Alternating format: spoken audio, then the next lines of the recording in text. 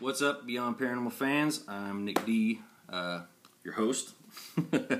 uh, no, I'm lead investigator, man. I've been doing this uh, for the last probably 12, 13 years. Um, and I posted in the com I posted uh, on Beyond Paranormal page earlier that uh, I would make a short video.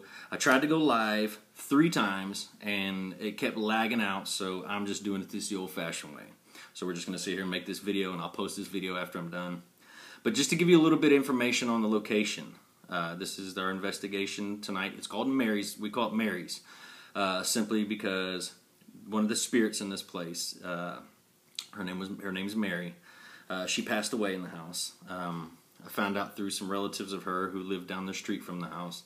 Uh, spoke with them.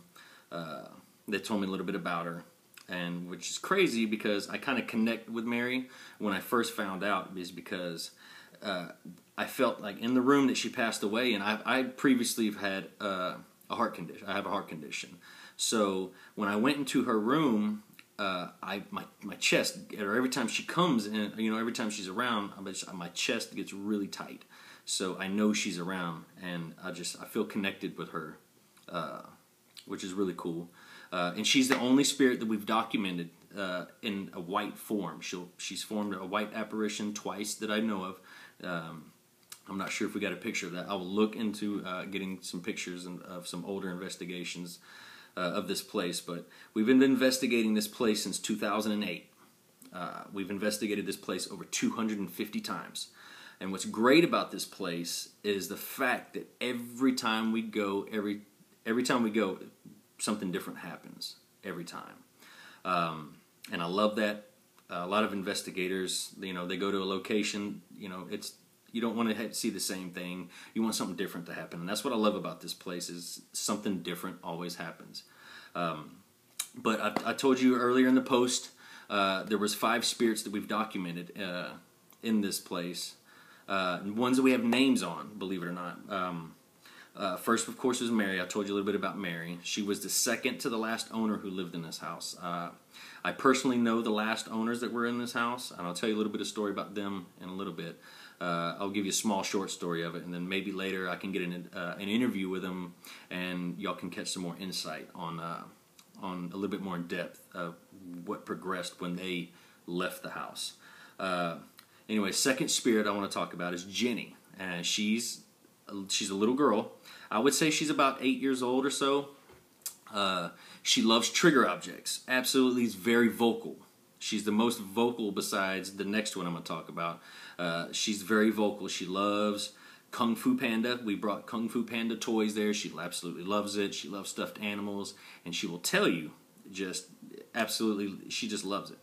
Um, so this time tonight, when we go tonight, I'm bringing another trigger object, and this is Mort.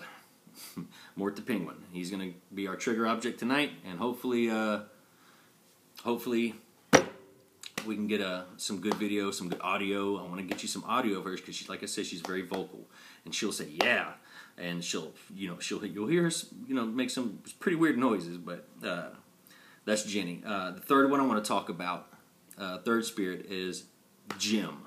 He's the cowboy of the group and the biggest he's just he's a butthole. He is so mean. He is very, very, very mean. He likes to cuss at people. Uh, he likes he calls you out by your name. He he, he tells you you're gonna die.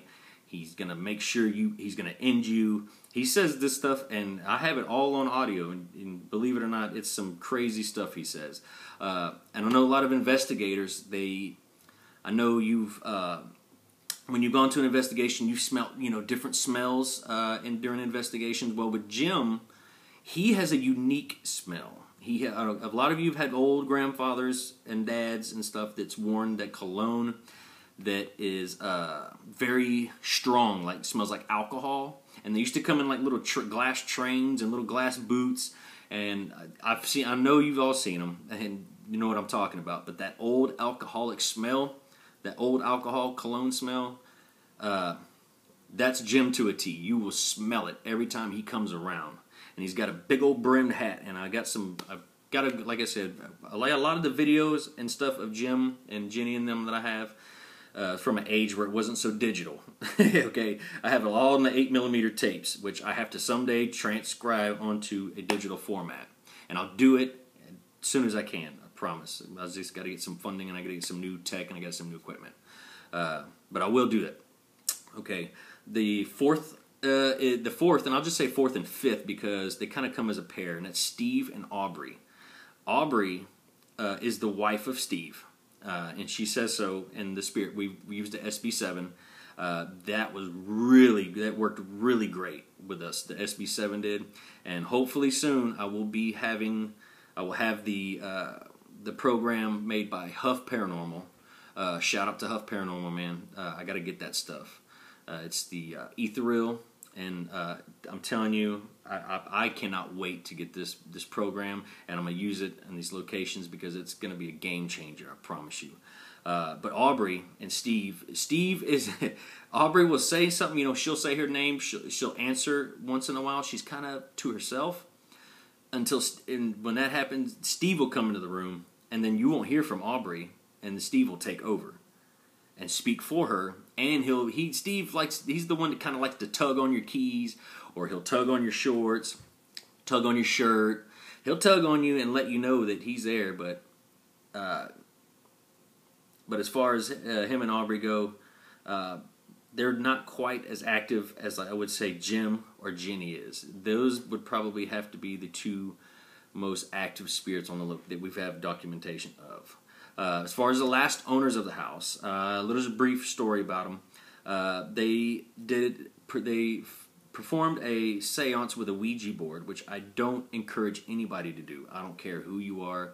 Me personally, I don't mess with that kind of stuff. Okay, just because I just don't mess with it.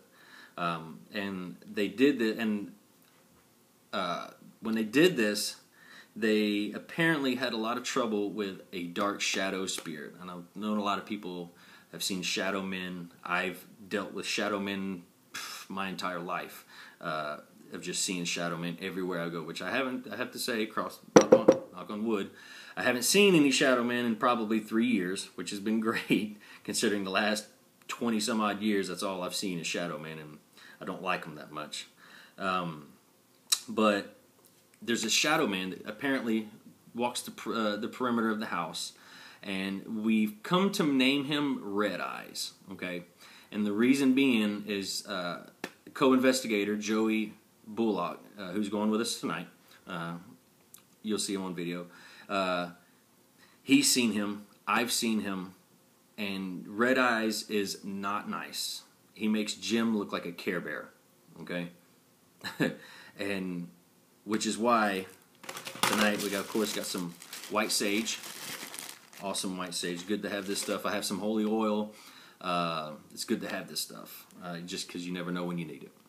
Um, but he apparently walks the perimeter of the house, and he doesn't like people coming on the property. Okay, the property, uh, I would say, is kind of old, just for the simple fact that it, it's on one of the oldest creeks uh, in Harris County, and that's Spring Creek. Um, you can do research on Spring Creek and uh, the old. Back in the old west, they had the first prohibition bar on uh, on in Harris County on Spring Creek. Uh, in that town, uh, there was uh, in Old Town Spring uh, a lot of Bonnie and Clyde stories from Old Town Spring, which hopefully we can do an investigation Old Town Spring. I'll be more on that. I'll put a link down there for that. Um, but this place is just this the, the, I believe that the grounds that the house is on is a lot older than the place is, and it's just a mixture of different spirits at this place. But it's so intriguing because, like I said, every time you go to this place, it's something new every time, um, and that's just something we love experiencing. Um, any more questions you might have? Uh, anything I may have left out uh, that I may not know? Feel free to comment below, like the video, and just be ready because I'm going to be posting some videos tonight. It's investigation time tonight, okay? It's going to be some great stuff, some great audio, great pictures. I hope you all check it out. Thanks for watching. Again, I'm Nick D, and I'm here. Let's do this.